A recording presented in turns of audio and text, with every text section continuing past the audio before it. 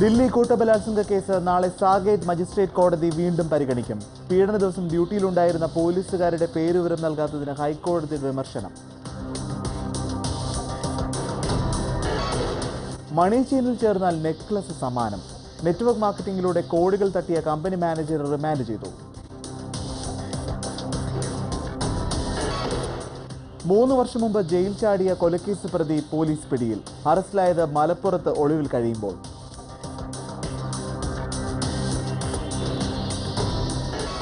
സൈനികരെ വെടിവെച്ചു കൊന്ന് മൃതദേഹം വികൃതമാക്കിയ നടപടി പ്രകോപനപരമെന്ന് പാകിസ്ഥാനോട് ഇന്ത്യ.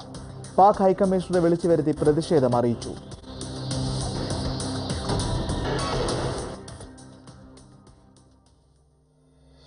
എഫ്ഐആറിലേക്ക് വിശദമായി. ദില്ലി കൂട്ടബലാത്സംഗ കേസ് നാളെ സാകേത് മജിസ്ട്രേറ്റ് കോടതി വീണ്ടും പരിഗണിക്കും. ഉച്ചയ്ക്ക് രണ്ടര മണിക്കാണ് കേസ് പരിഗണിക്കുക. കേസ് അതിവേഗ കോടതിയിലേക്ക് മാറ്റുന്നത് സംബന്ധിച്ച് തീരുമാനമുണ്ടാകാൻ സാധ്യതയുണ്ട്. അഞ്ച് പ്രതികൾക്ക് തിങ്കളാഴ്ച കുറ്റപത്രത്തിന്റെ പകർപ്പ് നൽകിയിരുന്നു. വിചാരണ രഹസ്യമായി നടത്താനും ഉത്തരവിട്ടു. വിചാരണയുടെ വിശദാംശങ്ങൾ കോടതിയുടെ അനുമതിയോടെ റിപ്പോർട്ട് ചെയ്യാവൂവെന്നും കോടതി നിർദ്ദേശിച്ചിട്ടുണ്ട്. പ്രതികൾക്ക് വേണ്ടി ഹാജരാകാൻ തയ്യാറായ അഭിഭാഷകനും മറ്റ് അഭിഭാഷകരും തമ്മിൽ കോടതി മുറിയിൽ അന്ന് വാക്കേറ്റമുണ്ടായിരുന്നു. പ്രതികൾക്ക് വേണ്ടി അമിക്കസ് ക്യൂറിയാകാൻ തയ്യാറാണെന്ന് കാണിച്ച് ഒരു അഭിഭാഷകൻ അപേക്ഷ നൽകിയിട്ടുണ്ട്. ദില്ലി കൂട്ടബലാത്സംഗം നടന്ന ദിവസം ഡ്യൂട്ടിയിലുണ്ടായിരുന്ന ഉന്നത പോലീസ് ഉദ്യോഗസ്ഥരുടെ പേര് നൽകാത്തതിന് ഹൈക്കോടതിയുടെ വിമർശനം. അസിസ്റ്റന്റ് പോലീസ് കമ്മീഷണറുടെ പേര് മാത്രമാണ് പോലീസ് കോടതിയിൽ നൽകിയത്. കൂട്ടബലാത്സംഗം നടന്ന ദിവസം ഡ്യൂട്ടിയിലുണ്ടായിരുന്ന പോലീസുകാരുടെ മുഴുവൻ പേരുവിവരവും നൽകണം എന്നാണ് ദില്ലി ഹൈക്കോടതി പോലീസിനോട് നിർദ്ദേശിച്ചത്. ഡ്യൂട്ടിയിലുണ്ടായിരുന്ന അസിസ്റ്റന്റ് കമ്മീഷണർ അടക്കമുള്ള പോലീസുകാരുടെ പേരുകളാണ് കോടതിക്ക് നൽകിയത്. എന്നാൽ തീരുമാനമെടുക്കാൻ കഴിയാത്ത ഉദ്യോഗസ്ഥരുടെ പേരുകൾ മാത്രം നൽകിയതിനെ ഹൈക്കോടതി രൂക്ഷമായി വിമർശിച്ചു. കമ്മീഷണറോ ഡെപ്യൂട്ടി പോലീസ് കമ്മീഷണറോ എന്തുകൊണ്ട് ഉത്തരവാദിയല്ല എന്ന് കോടതി ചോദിച്ചു. ഉന്നത പോലീസ് ഉദ്യോഗസ്ഥരുടെ ഉത്തരവാദിത്തം എന്താണെന്ന് വ്യക്തമാക്കണമെന്നും കോടതി നിർദ്ദേശിച്ചു. പെൺകുട്ടിയെയും കൊണ്ട് ബസ് രണ്ട് ചെക്ക് പോസ്റ്റുകൾ കടന്നുപോയിട്ടും പോലീസ് അറിഞ്ഞില്ല. ഇക്കാര്യത്തിൽ വിശദമായ റിപ്പോർട്ട് നൽകണം എന്നാണ് കോടതി നിർദ്ദേശിച്ചത്. ബലാത്സംഗത്തിനെതിരെ പ്രക്ഷോഭം നടക്കുമ്പോൾ ദില്ലിയിൽ നിരോധനാജ്ഞ പ്രഖ്യാപിച്ചതിനെ കോടതി നേരത്തെ വിമർശിച്ചിരുന്നു. ഏഷ്യാനെറ്റ് ന്യൂസ് ദില്ലി. ഇന്ത്യ ഗേറ്റിൽ സമരത്തെ നേരിടുന്നതിനിടെ മരിച്ച പോലീസ് കോൺസ്റ്റബിളിന്റെ പോസ്റ്റ്മോർട്ടം റിപ്പോർട്ട് വിദഗ്ധ സമിതി പരിശോധിക്കണമെന്നാവശ്യപ്പെട്ട് ദില്ലി പോലീസ് രംഗത്തെത്തി. കോൺസ്റ്റബിളിന്റെ മരണത്തെ ചൊല്ലി വിവാദങ്ങൾ നിലനിൽക്കുന്ന സാഹചര്യത്തിലാണ് പോലീസ് ദില്ലി സർക്കാരിനോട് പുതിയ അന്വേഷണം ആവശ്യപ്പെട്ടിരിക്കുന്നത്. കഴിഞ്ഞ ഇരുപത്തിമൂന്നിനാണ് ഇന്ത്യ ഗേറ്റിലെ സമരത്തെ നേരിടുന്നതിനിടെ സുഭാഷ് തോമർ എന്ന കോൺസ്റ്റബിൾ കുഴഞ്ഞു വീണത്.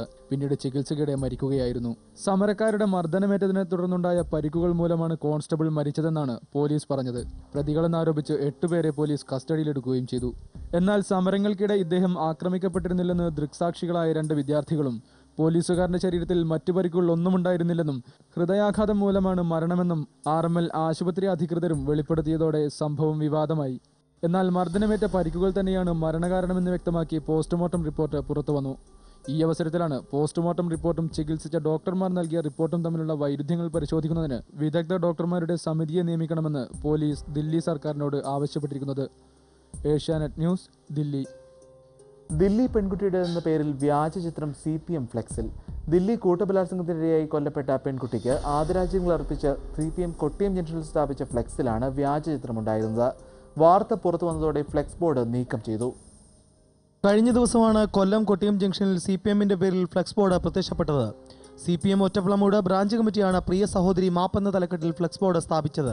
ലോകത്തിലെ ഏറ്റവും വലിയ ജനാധിപത്യ രാജ്യ തലസ്ഥാനത്തെ അതീവ സുരക്ഷാ മേഖലയിൽ പോലും നിന്റെ മാനം രക്ഷിക്കാൻ കഴിയാത്ത നപുംസകങ്ങളായ ഭരണാധികാരികളുടെ പേരിൽ മാപ്പ് ചോദിക്കുന്നുവെന്നും ഫ്ലെക്സ് ബോർഡിൽ എഴുതിയിരുന്നു. അതിനു തൊട്ടു താഴെയാണ് ദില്ലി പെൺകുട്ടിയുടെ എന്ന പേരിൽ വ്യാജ ചിത്രം നൽകിയിരുന്നത്. അതേസമയം ദില്ലി പെൺകുട്ടിക്ക് ആദരാഞ്ജലികൾ അർപ്പിച്ച് നിരവധി പേർ നടത്തിയ പ്രതികരണങ്ങളിൽ ഒന്നു മാത്രമാണിതെന്നായിരുന്നു സി പി എം ജില്ലാ നേതൃത്വത്തിന്റെ വിശദീകരണം. ഫ്ലെക്സ് ബോർഡിൽ അപാകതയുണ്ടെങ്കിൽ പരിശോധിക്കുമെന്നും ജില്ലാ നേതൃത്വം പ്രതികരിച്ചു. അതിന് തൊട്ടുപിന്നാലെ കൊട്ടിയം ജംഗ്ഷനിലെ ഫ്ലെക്സ് ബോർഡ് നീക്കം ചെയ്യുകയും ചെയ്തു. ഏഷ്യാനെറ്റ് ന്യൂസ് കൊല്ലം. പ്രായപൂർത്തിയാകാത്ത കുറ്റവാളികൾക്ക് ജീവപര്യന്തവും വധശിക്ഷയും നൽകരുതെന്ന നിയമവ്യവസ്ഥയെ ചോദ്യം ചെയ്ത് സമർപ്പിച്ച ഹർജിയിൽ കേന്ദ്രത്തിന് ദില്ലി ഹൈക്കോടതിയുടെ നോട്ടീസ്. ബലാത്സംഗവും കൊലപാതകവും പോലുള്ള കേസുകളിൽ പതിനാറ് വയസ്സിൽ കൂടുതലുള്ളവരെ പ്രായപൂർത്തിയായവരായി കണക്കാക്കണമെന്നും ഹർജിയിൽ ആവശ്യപ്പെടുന്നു. ദില്ലി കൂട്ടബലാത്സംഗ കേസിൽ രഹസ്യ വിചാരണ നടത്തുന്നതിനെതിരെ സമർപ്പിച്ച ഹർജി സെഷൻസ് കോടതി തള്ളി.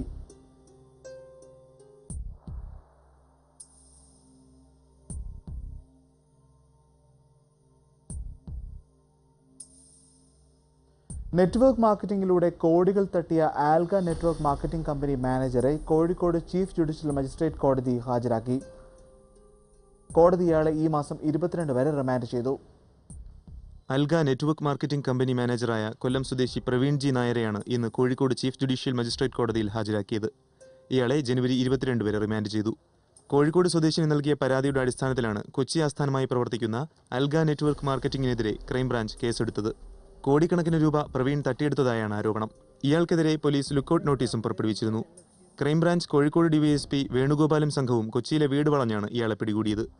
പണമടച്ചാൽ നെക്ലസ് സമ്മാനമായി ലഭിക്കുമെന്നും കൂടാതെ ആഴ്ചയിൽ നിശ്ചിത തുക വരുമാനം ലഭിക്കുമെന്നുമാണ് കമ്പനി വാഗ്ദാനം ചെയ്തിരുന്നത്.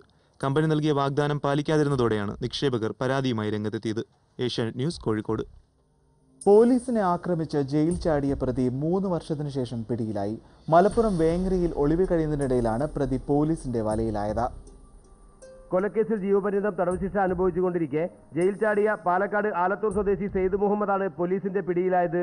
രണ്ടായിരത്തി നാലിൽ മണ്ണുത്തി പോലീസ് സ്റ്റേഷൻ പരിധിയിലെ മുല്ലക്കര എന്ന സ്ഥലത്ത് മറിയാമ്മ എന്ന സ്ത്രീയെ കവർച്ചയ്ക്കിടെ തലക്കടിച്ചു കൊന്ന കേസിൽ ജീവപര്യന്തം ശിക്ഷ അനുഭവിച്ച് ജയിലിൽ കഴിയവെയാണ് സെയ്ദ് മുഹമ്മദ് ജയിൽ ചാടിയത്. ആലത്തൂർ കോടതിയിൽ ഒരു കളവ് കേസിന്റെ വിചാരണയ്ക്കായി പോലീസ് കൊണ്ടുവരുമ്പോൾ പോലീസിനെ ആക്രമിച്ചായിരുന്നു സെയ്ദ് മുഹമ്മദ് അന്ന് രക്ഷപ്പെട്ടിരുന്നത്. തുടർന്ന് തിരുപ്പൂർ മൈസൂർ എന്നിവിടങ്ങളിൽ ഒളിവിൽ കഴിഞ്ഞ ശേഷം കുറച്ചുകാലമായി മലപ്പുറം ജില്ലയിലെ വേങ്ങരയിൽ രഹസ്യമായി താമസിച്ച് ജോലി ചെയ്തു വരികയായിരുന്നു. പോലീസിന് കിട്ടിയ രഹസ്യ വിവരത്തിന്റെ അടിസ്ഥാനത്തിൽ Malappuram C I T B വിജയന്റെ നേതൃത്വത്തിലുള്ള സംഘമാണ് പ്രതിയെ പിടികൂടിയത്. കൊലപാതക കേസിന് പുറമെ സെയ്ദ് മുഹമ്മദിന്റെ പേരിൽ വടക്കാഞ്ചേരി ആലത്തൂർ മണ്ണുത്തി എന്നീ പോലീസ് സ്റ്റേഷനുകളിൽ കളവു കേസുകൾ നിലവിലുണ്ട്. പ്രതിയെ തുടർ നടപടികൾക്കായി ആലത്തൂർ പോലീസിന് കൈമാറി. ഏഷ്യാനെറ്റ് ന്യൂസ് മലപ്പുറം. എറണാകുളം നെട്ടൂരിൽ ഹോട്ടൽ വ്യാപാരിയെ കൊന്ന കേസിലെ പ്രതിയെ റിമാൻഡ് ചെയ്തു. ആലപ്പുഴ അരൂർ സ്വദേശി ജോഷിയെയാണ് ഇന്നലെ സംഭവവുമായി ബന്ധപ്പെട്ട് പോലീസ് അറസ്റ്റ് ചെയ്തത്. ഭൂമി കൈമാറ്റവുമായി ബന്ധപ്പെട്ട കമ്മീഷൻ തർക്കമാണ് കൊലപാതകത്തിന് കാരണമായത്. ഇന്നലെയാണ് Ernakulam Sea King hotel manager Pullepady സ്വദേശി ഷംസുദ്ദീനെ ദേശീയപാതയ്ക്ക് സമീപം നെട്ടൂർ പച്ചക്കറി മാർക്കറ്റിനടുത്ത് കുത്തേറ്റ് മരിച്ച നിലയിൽ കണ്ടത്. ദേഹത്താസകലം മുറിവേറ്റ് രക്തം വാർന്ന നിലയിലായിരുന്നു മൃതദേഹം. കൊലപാതകം നടന്ന മണിക്കൂറുകൾക്കുള്ളിൽ തന്നെ പ്രതി പോലീസിന്റെ വലയിലായി. മൃതദേഹത്തിന് സമീപത്ത് നിന്ന് ലഭിച്ച മൊബൈൽ ഫോൺ തിരിച്ചറിയൽ കാർഡുമാണ് പ്രതിയെ പിടികൂടാൻ സഹായിച്ചത്. വസ്തു കൈമാറ്റവുമായി ബന്ധപ്പെട്ട തർക്കമാണ് കൊലപാതകത്തിന് പിന്നിൽ നിന്ന് പോലീസ് പറയുന്നു. ഷംസുദ്ദീന് ജോഷിയുമായി റിയൽ എസ്റ്റേറ്റ് ഇടപാടുകളുണ്ടായിരുന്നു ഏതാനും നാളുകൾക്ക് മുമ്പ് ഷംസുദ്ദീൻ കൊച്ചിയിൽ നടത്തിയ സ്ഥലം കൈമാറ്റത്തിൽ ജോഷിയായിരുന്നു ഇടനിലക്കാരൻ. ഇതുമായി ബന്ധപ്പെട്ട കമ്മീഷൻ തുക ഷംസുദ്ദീൻ തന്നില്ലെന്നും പലതവണ ചോദിച്ചപ്പോൾ ഒഴിഞ്ഞുമാറുകയായിരുന്നുവെന്നും ജോഷി പോലീസിനോട് പറഞ്ഞു. വസ്തു സംബന്ധമായ കാര്യങ്ങൾ ചർച്ച ചെയ്യാനെന്ന പേരിൽ പ്രതി ഷംസുദ്ദീനെ നെട്ടൂരിലേക്ക് വിളിച്ചു വരുത്തി. ഇവർ തമ്മിലുണ്ടായ വാക്കുതർക്കം സംഘർഷത്തിലേക്കും തുടർന്ന് കൊലപാതകത്തിലും കലാശിക്കുകയായിരുന്നു. Ernakulam south C I G Venu Panangad S I A B Vipin എന്നിവരുടെ നേതൃത്വത്തിലുള്ള സംഘമാണ് പ്രതിയെ പിടികൂടിയത്. പ്രതിയെ വൈകുന്നേരം കോടതിയിൽ ഹാജരാക്കി റിമാൻഡ് ചെയ്തു. ഏഷ്യാനെറ്റ് ന്യൂസ് കൊച്ചി. അതിർത്തിയിൽ മരിച്ച സൈനികരുടെ മൃതദേഹം സ്വദേശങ്ങളിലേക്ക് കൊണ്ടുപോയി. പാകിസ്ഥാനുമായുള്ള ചർച്ചകൾ നിർത്തിവെക്കണമെന്ന് ബി ആവശ്യപ്പെട്ടു. അതിർത്തിയിൽ പാകിസ്ഥാൻ സേനയുടെ ആക്രമണത്തിൽ മരിച്ച ലാൻസ് നായിക് ഹേംരാജ് ലാൻസ് നായിക് സുധാകർ സിംഗ് എന്നിവരുടെ മൃതദേഹം ജമ്മുകാശ്മീരിലെ രജൌരിയിൽ എത്തിച്ച ശേഷം സ്വദേശങ്ങളിലേക്ക് കൊണ്ടുപോയി. കരസേന ഇരുപത്തഞ്ചാം ഡിവിഷൻ ഹെഡ്ക്വാർട്ടേഴ്സിൽ വടക്കൻ കമാൻഡ് മേധാവി ലഫ്റ്റനന്റ് ജനറൽ കെ ടി പർനായിക്കിന്റെ നേതൃത്വത്തിൽ സേന ഇരുവർക്കും അന്തിമോപചാരം അർപ്പിച്ചു. പാകിസ്ഥാന്റെ ഇരുപത്തിയൊമ്പത് ബലൂച്ച് റെജിമെന്റിലെ സൈനികരാണ് ഇന്നലെ ആക്രമണം നടത്തിയത് എന്ന് വ്യക്തമായിട്ടുണ്ട്. വടക്കൻ കമാൻഡിൽ ഉന്നതതല യോഗം ചേർന്ന് സ്ഥിതി വിലയിരുത്തി. ഇനിയും പ്രകോപനമുണ്ടായാൽ നേരിടുന്ന കാര്യം ചർച്ച ചെയ്തു. ഇന്നലെ രാത്രി അതിർത്തിയിൽ സംഘർഷം ഉണ്ടായെങ്കിലും ഇന്ന് സ്ഥിതി ശാന്തമാണെന്നാണ് സൂചന. ജനീവ കൺവെൻഷന് വിരുദ്ധമായ നടപടിയാണ് പാകിസ്ഥാന്റെ ഭാഗത്ത് നിന്ന് ഉണ്ടായത്. സൈനികരുടെ മൃതദേഹം വികൃതമാക്കിയ വിഷയത്തിൽ അന്താരാഷ്ട്ര വേദികളിൽ പാകിസ്ഥാനെ പ്രതിരോധത്തിലാക്കാൻ ഇന്ത്യയ്ക്ക് കഴിയുമോ എന്നതാണ് പ്രധാന വിഷയം. കാർഗിൽ യുദ്ധസമയത്ത് ക്യാപ്റ്റൻ സൗരവ് കാലിയയുടെ മൃതദേഹത്തോട് കാണിച്ച ക്രൂരതയ്ക്കെതിരെ ഇതുവരെ കാര്യമായ നടപടിയൊന്നും ഇന്ത്യ സ്വീകരിച്ചിട്ടില്ല എന്ന ആക്ഷേപമുണ്ട്. ഇതിനിടെ പാകിസ്ഥാനുമായുള്ള ചർച്ചകൾ നിർത്തിവെക്കണമെന്ന് ബി ജെ പി ആവശ്യപ്പെട്ടു.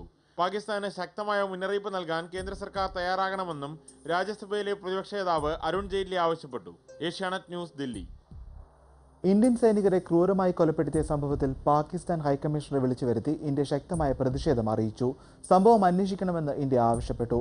പാകിസ്ഥാന്റെ നടപടി പ്രകോപനപരമാണെന്ന് പ്രതിരോധ മന്ത്രി എ കെ ആന്റണി പറഞ്ഞു. പ്രശ്നം പരിഹരിക്കുമെന്ന് പാകിസ്ഥാൻ ഹൈക്കമ്മീഷണർ അറിയിച്ചു. വെടിനിർത്തൽ കരാർ ലംഘിച്ച് ഇന്ത്യൻ മേഖലയിൽ കടന്ന് പാകിസ്ഥാൻ സേന രണ്ട് ഇന്ത്യൻ സൈനികരെ വധിക്കുകയും ഒരു ജവാന്റെ മൃതദേഹത്തിൽ നിന്ന് തലയർത്ത് മാറ്റുകയും ചെയ്ത സംഭവത്തിൽ ശക്തമായ പ്രതിഷേധമാണ് ഇന്ത്യ അറിയിച്ചത്. ഇത്തരം സംഭവങ്ങൾ ആവർത്തിക്കരുത് എന്ന മുന്നറിയിപ്പ് വിദേശകാര്യ മന്ത്രാലയം പാകിസ്ഥാന് നൽകി. ഇന്ത്യയിലെ പാകിസ്ഥാൻ ഹൈക്കമ്മീഷണർ സൽമാൻ ബഷീറിനെ വിളിച്ചു വരുത്തിയാണ് വിദേശകാര്യ സെക്രട്ടറി രഞ്ജൻ മത്തായി ഇക്കാര്യം അറിയിച്ചത്. വെടിനിർത്തൽ കരാറിന്റെ ലംഘനം ഇരു രാജ്യങ്ങൾക്കുമിടയിൽ പരസ്പര വിശ്വാസം വളർത്താനുള്ള നടപടികളെ ഗുരുതരമായി ബാധിക്കുമെന്നും ഇന്ത്യ അറിയിച്ചു. അതേസമയം എടുത്തുചാടി ഇന്ത്യ നിലപാടൊന്നും സ്വീകരിക്കില്ല എന്നും വിദേശകാര്യമന്ത്രി സൽമാൻ ഖുർഷിദ് പറഞ്ഞു. Forces that are attempting to derail all the good work that's been done towards normalization should not be successful. Pakistan നിയന്ത്രണ രേഖ ലംഘിച്ചിട്ടില്ലെന്നും പ്രശ്നം പരിഹരിക്കും എന്നാണ് ഇരു രാജ്യങ്ങൾക്കുമിടയിലെ ധാരണയെന്നും പാകിസ്ഥാൻ ഹൈക്കമ്മീഷണർ സൽമാൻ ബഷീർ അറിയിച്ചു. ഐക്യരാഷ്ട്രസഭയുടെ നേതൃത്വത്തിലുള്ള ഒരു അന്വേഷണത്തിന് പാകിസ്ഥാൻ തയ്യാറാണെന്നും സൽമാൻ ബഷീർ പറഞ്ഞു. പാകിസ്ഥാന്റെ നടപടി പ്രകോപനപരമാണെന്ന് പ്രതിരോധ മന്ത്രി എ കെ ആന്റണി പ്രതികരിച്ചു. will talk.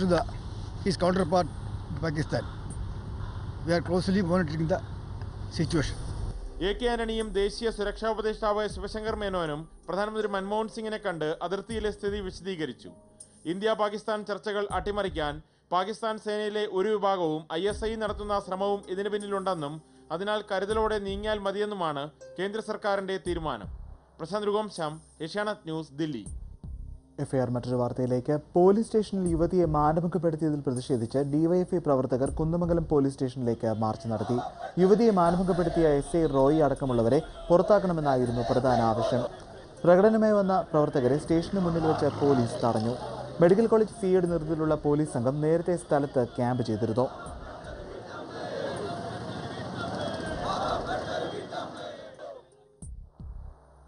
കൊച്ചി മുസിരിസ് ബിനാലയ്ക്കെതിരെ രാജ്യദ്രോഹ കുറ്റത്തിന് ഫോർട്ട് കൊച്ചി പോലീസ് കേസെടുത്തു. നിരോധിച്ച സംഘടനകളുടെ പതാകകൾ ബിനാലെ വേദിയിൽ പ്രദർശിപ്പിച്ചതിനാണ് സംഘാടകർക്കെതിരെ കേസെടുത്തത്. നെതർലാൻഡ്സിൽ നിന്നുള്ള കലാകാരൻ ജൊനാസ് സ്റ്റാളിന്റെ ഇൻസ്റ്റലേഷന്റെ അടിസ്ഥാനത്തിലാണ് ബിനാലയുടെ സംഘാടകർക്കെതിരെ കേസെടുത്തിരിക്കുന്നത്. Indian Mujahideen SIMI L T T തുടങ്ങിയ നിരോധിത സംഘടനകളുടെ പതാകകൾ നിറങ്ങൾ അനുസരിച്ച് ചേർത്തുവെച്ചാണ് ജൊനാസ് സ്റ്റാൾ ആസ്പിൻ വാളിൽ ഇൻസ്റ്റലേഷൻ തീർത്തത്. നാൽപ്പത്തിയഞ്ചോളം സംഘടനകളുടെ പതാകകൾ ബിൽബോർഡിലാണ് വരച്ചു വരച്ചുവെച്ചിരുന്നത് ഇൻസ്റ്റലേഷന് പിന്നിൽ തീവ്രവാദ സംഘടനകൾക്ക് ബന്ധമുണ്ടെന്ന് രഹസ്യാന്വേഷണ വിഭാഗം റിപ്പോർട്ട് നൽകിയിരുന്നു.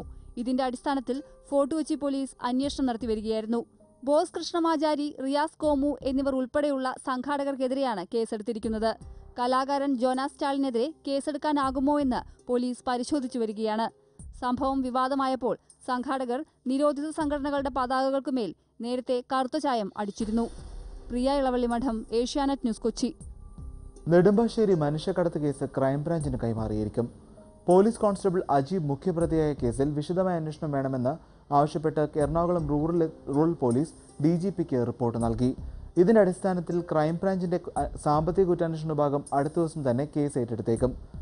ഇതിനിടെ മുഖ്യപ്രതിയായ അജീബിന് കേരളത്തിലെ മറ്റ് വിമാനത്താവളങ്ങൾ കേന്ദ്രീകരിച്ചുള്ള മനുഷ്യക്കടത്ത് റാക്കറ്റുമായും ബന്ധമുണ്ടെന്ന് കണ്ടെത്തി. ഇയാളുടെ മുൻകൂർ ജാമ്യാപേക്ഷ കോടതി ഇന്നലെ തള്ളിയിരുന്നു. മലപ്പുറം ചുങ്കത്തറയിൽ നാട്ടുകാരെ ആക്രമിച്ച പുലിയെ വനംവകുപ്പ് ഉദ്യോഗസ്ഥർ മയക്കുവെടി വെച്ച് പിടികൂടി. രാവിലെ വനത്തിൽ പുല്ലരിയാൻ പോയ കൊന്നമണ സ്വദേശി സുനി എന്ന സ്ത്രീയെയാണ് പുലി ആദ്യം ആക്രമിച്ചത്. പിന്നീട് വനത്തിൽ നിന്നും ജനവാസ കേന്ദ്രത്തിലിറങ്ങിയ പുലി നാട്ടുകാർക്ക് ഭീഷണിയായതോടെയാണ് വനംവകുപ്പ് അധികൃതർ മയക്കുവെടി വെച്ച് പിടികൂടിയത്. നാട്ടുകാരുടെ ബഹളത്തെ തുടർന്ന് പുലി ഓടി തെങ്ങിന്റെ മുകളിൽ കയറിയപ്പോഴാണ് വനംവകുപ്പ് ഉദ്യോഗസ്ഥർ മയക്കുവെടി വെച്ചത്.